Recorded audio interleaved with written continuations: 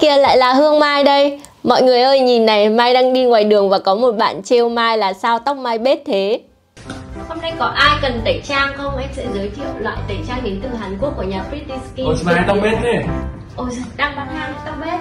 Không sao mọi người Đây giới thiệu luôn với mọi người. Em dầu gội khô số 1 đến từ Anh Quốc Cực kỳ hiệu quả trị tóc bết luôn. Dành cho các cô nàng nào không có thời gian gội đầu. Mọi người muốn xem thêm chi tiết về sản phẩm thì hãy xem video dưới đây của Mai nhé Mọi người xem video vừa xong chưa? Có ai sợ tóc bết như Mai không? Hôm nay Mai sẽ chỉ cho mọi người một bí quyết để giải quyết vấn đề tóc bết một cách nhanh chóng và tiện lợi nhé. Giới thiệu với mọi người, đây là toàn bộ sản phẩm dầu gội khô Batis đến từ Anh Quốc bên Mai với 6 mùi hương dành cho các cô nàng bận rộn. Đầu tiên là mùi hương hoa hồng, mùi này thì Mai đã và đang sử dụng Mùi hương này rất là thơm và thích hợp cho các cô nàng thích sự ngọt ngào đấy. Mùi hương thứ hai là mùi White Flower, hương hoa cỏ nữ tính và tươi mát mọi người nhé. Mùi hương thứ ba là mùi hương hoa anh đào, cherry. Rất nhiều cô nàng lựa chọn mùi hương này vì mùi hương này vừa thơm nhẹ nhàng và rất dễ chịu.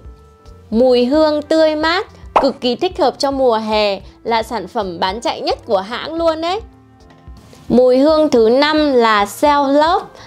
Mùi hương đến từ các loại trái cây, Giúp cho các cô nàng cảm thấy cực kỳ thoải mái và ngọt ngào ạ. Và mùi hương cuối cùng có tại Hương My Cosmetics là mùi Blush. Hương phấn hoa cũng được rất nhiều các cô nàng lựa chọn. Mọi người hãy thử nhìn Mai sử dụng sản phẩm này nhé.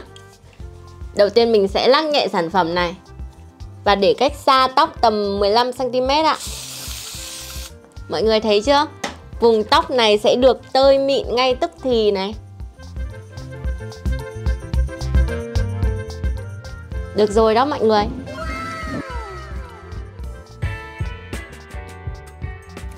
Cảm ơn mọi người rất nhiều vì mọi người đã tiếp tục theo dõi những video của Mai. Nếu mọi người thấy video này hay và hữu ích thì hãy nhớ like, chia sẻ và subscribe cho Mai nhé. Hẹn gặp lại mọi người trong những video tiếp theo. Bye bye.